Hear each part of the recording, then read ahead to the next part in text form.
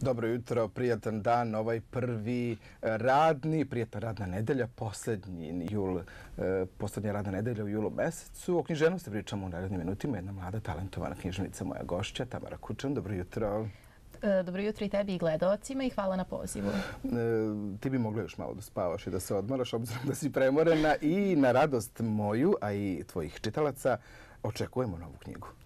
Ja bih mogla još mnogo da spavam. Ja u stvari mislim da se ja nikada neću naspavati. Da, očekujemo novu knjigu, zato sam i preumorna. Spremam novi roman, spremam sajem knjiga. Isto tako spremaju se neke novine vezane za stare romane, tako da nestajem. Hoćeš da nam kažeš? Nećeš ništa da nam kažeš? Pa zavisi... O, rom, o novom romanu?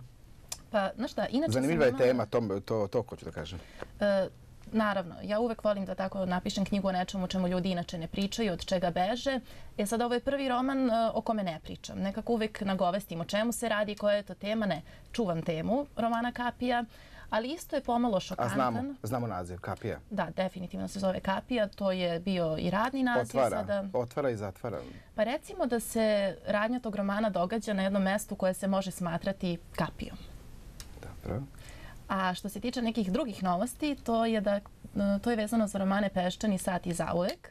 E, za nekih desetak do 15 dana romani će biti dostupni u svim većim gradovima na svim bolje snabdevenim kioscima. To meni naravno laska zato što to govori o potražnji i čitanosti. O kome ćemo prvom nešto malo da kažemo? Pa, hajde da počnemo možda od Peščanog sata, s obzirom na to da je on poslednji roman, da je izašao pre godinu dana, da je to moj najprodavaniji i najčitaniji roman. Nekada nije pravilo da je ono što je najprodavanije i najčitanije. Uglavnom ljudi, ne uglavnom, nekada ljudi kupe pa ni ne pročitaju ako knjiga, jel te, nije zanimljiva. E, Peščani sat je priča o jednom najstarijem zanatu, da malo upakujemo to pošto su rani jutarnji sati. E, priča o mladim devojkama u Beogradu koje se okreću materijalnim stvarima i okreću se jednom zanatu koji im donosi tu neku brzu instant zaradu, ali ne i sreću. Jesi imala prilike da razgovaraš sa nekim od devojaka? Pa ti hoćeš da me uhapse. ne, ne, šalim se. E, Peščani sat prati veliki istraživački rad i ono što je meni bila ideja jeste često taj zanat prati epitet elitno. E, mene je zanimalo šta mladi ljudi smatruju elitom i nekako sam se na to fokusirala, da vidim šta je u očima tinejdžera, mladih ljudi, mladih žena elita i zašto teže toj nekoj eliti koja je zapravo kvazi elita. Druga? E, zauvek je završetak trilogije, ali se svakako svaki deo trilogije može čitati zasebno. To je kraj sage o Jani i Stevanu, mojim prvim književnim junacima koje sam stvorila i to je priča o odrastanju u Beogradu, o mladim ljudima, kako provode vreme, kako se susreću, zaljubljuju, gde izlaze. Ima tu nekoliko tabua koje ja volim, jel te, mislim, volim, kažu da volim da razbijam tabue, ali e, meni je nekako loše kada kažu da je zauvek, takav je i naziv, ne mogu da zamerim ljudima, kada kažu da je zauvek ljubavni roman. Ima tu dosta i sociologije sociologije o tome kako mladi odrastaju u velikom gradu, kako odrastaju oni koji dolaze iz manje grada u veliki grad i tako dalje. E, da kažemo gledalcima, znači da se sprema novi roman i da će to sigurno biti na, na, na Beogradskom sajmu. Vredna si. E, gde crpiš inspiraciju? Koliko si raspoložena? Što jesi svaki dan raspoložena za, za pisanje ili sebe nekako, ka, sebi kažeš da to tako treba i tako bude? E, ja nekako u svemu, u bilo kojoj stvari, ljudima, situaciji vidim nešto lepo i mislim da se o svemu može napisati dobra priča. Gde crpim inspiraciju? Pa trenutno u ovoj situaciji inspiracija crpi mene. I često mi za rođendan koji je uskoro, pa želim, želim ti mnogo inspiracije. Ja samo molim ljude da mi više ne žele inspiraciju, jer ću pasti od umora.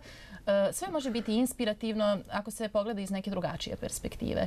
E, konkretno novi roman, e, mislim da će ljudi biti šokirani odabirom teme. Nije tema šokantna, nego je šokantno to što sam ja posle tema kao što su LGBT populacija, prostitucija, sponzoruše, odlučila se pozabavim nečim što je u 21. veku šokantno da postoji.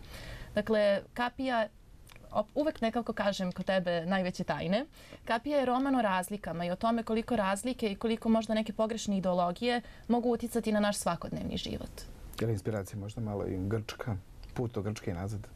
pa znaš kako, ja sam sada trenutno razapeta između dva grada, to je Beograd i Atina. E, inspiraciju sam stekla u Atini. Dakle, inspiracija me našla u Atini kada sam jednom prilikom posetila Atinu.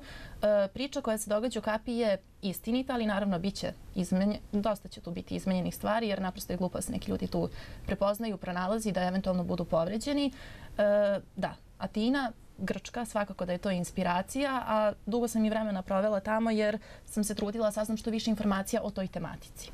E, pišeš i voliš tako reći svoje knjige, a jel voliš nekoga od kolega da pročitaš? Jel imaš nekog dragog pisca, našeg ili, ili stranog, nebitno? Pa ja inače volim da čitam. E, u ovom periodu kada stvaram roman ne čitam toliko, zato što se trudim da se zatvorim za sve druge uticaje, da slučajno ne povučem nečiji stil ili da tako ne usvojim to nesvesno. Ja volim da čitam domaće autore, volim da čitam domaće spisateljice.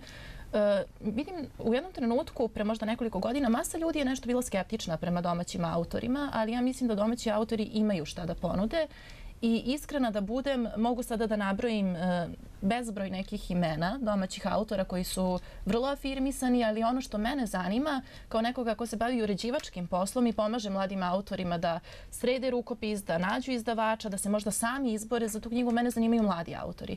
Volim da čitam mlade autore i volim da čitam autore koji možda nisu još toliko afirmisani. Koliko je teško tim mladim ljudima da se uopšte čuje za njih, da se probiju na e, tržište? E, Pa teško je. Vrlo je teško i uh, ono što ja savjetujem mlade ljude da ne odustaju ako ih neko odbije od izdavača, već da se sami potrude i da se sami bore za svoju knjigu. Uh, ja sam uvek govorila da je mnogo teško i meni je bilo jako teško i ja sam sada uh, sama sebi i izdavač, sama sam i autor i sve sama radim, ali mislim da kada se nešto želi ne postoji te teškoće koja će pokolebati nešto.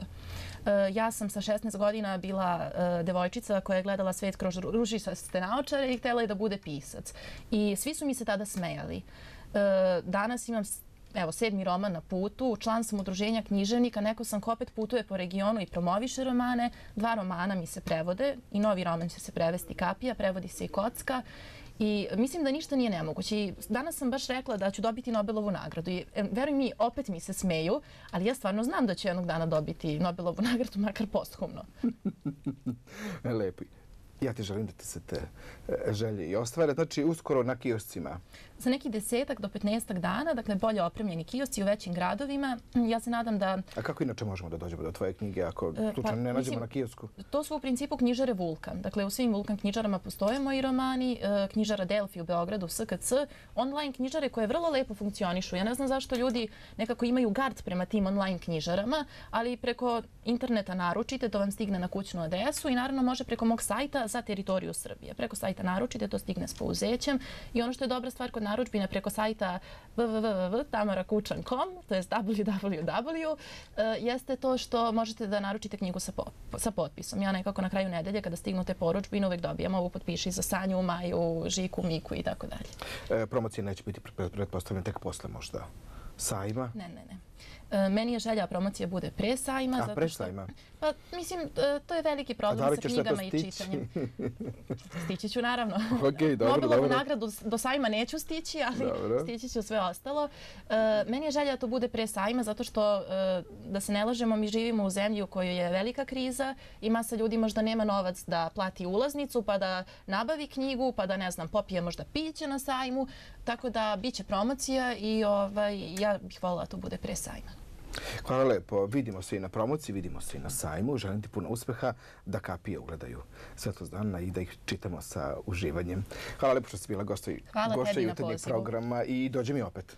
Dođi ti meni na promociju. Hoće Tamo ćemo se malo tu stresiti. Hvala lepo.